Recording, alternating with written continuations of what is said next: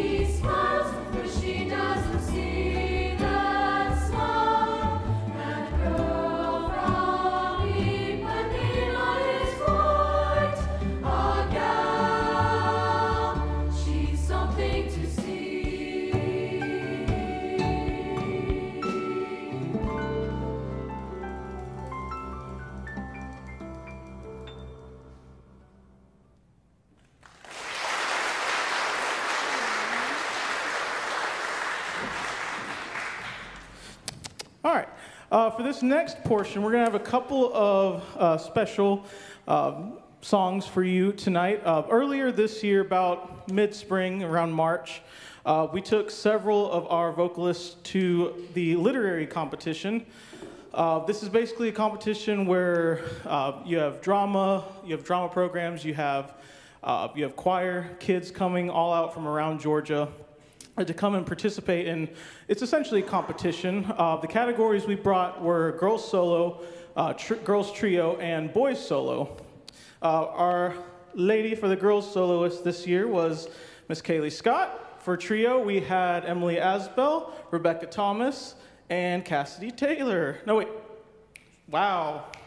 I forgot. Sorry. Brianna Wheeler, Rebecca Thomas and Cassidy Taylor. You see, what happens when the end of the semester comes to a close, everyone's brain sort of gets rattled a little bit, so sorry about that, folks. And then for our boys soloist, we had Mr. Evan, or as his classmates like to call him, Tortellini, Wyatt. Um, each of them did an extremely fabulous job.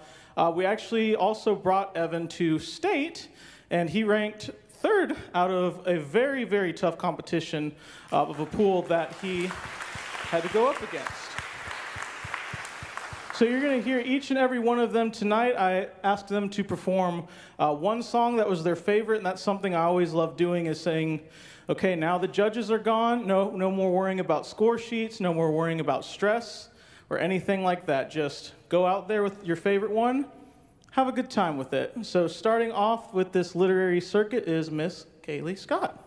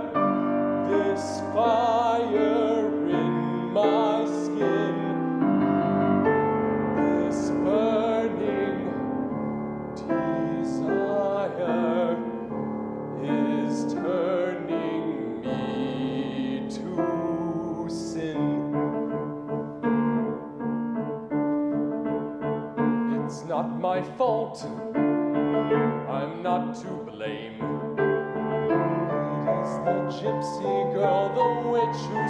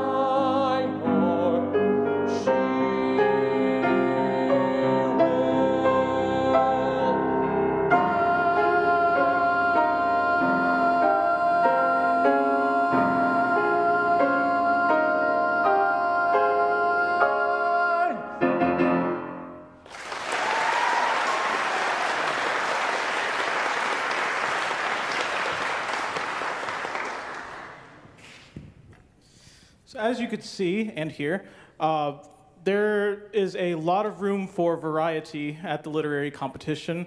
Uh, our first song was entitled Per la gloria d'adorarvi, which is an Italian aria, and then Keep Your Lamps, which was the second one, was a spiritual.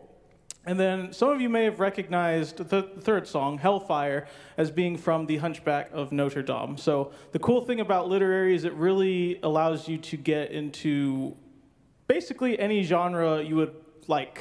Uh, and it's, it's always a fun time getting to hear uh, and work with all these different sorts of songs from different eras and uh, genre types. Uh, we're going to go ahead and continue with our choir with this next song entitled The Water is Wide.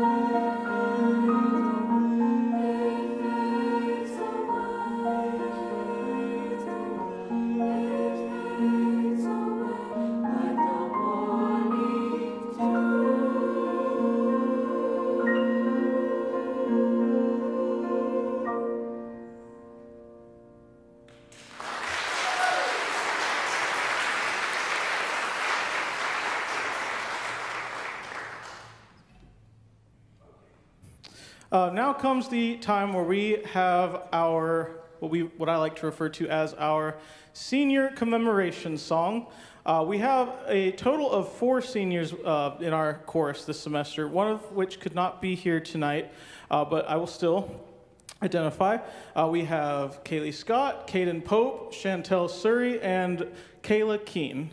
Um, we've all gotten quite close to our seniors during this time, um, and it's going to be hard seeing y'all go. Really, really hard, and I don't suppose there's any way within the administration where we could maybe adjust the paperwork a little bit, keep them around for one more year, but they probably would not like that. I think they're ready to get their diplomas and get on to the next chapter of their lives. Um, with this next song entitled Homeward Bound, uh, parents, uh, families, I definitely know that it can be hard uh, when your children go off into college, into uh, job jobs, and all that good stuff. But I just hope with this song, um, and also to their wonderful friends as well, both here on stage and out here in the audience, that uh, you all would know for sure that no matter where you go, there is always home right here in Dublin, Georgia. So here is Homeward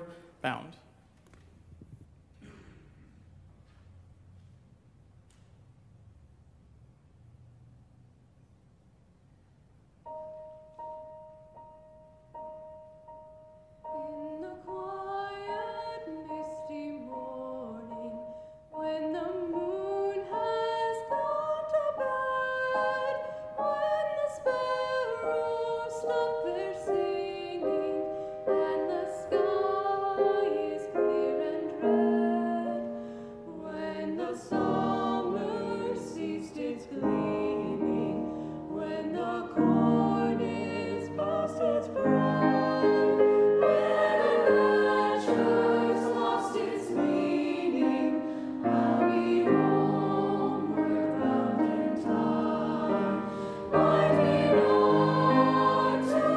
Oh.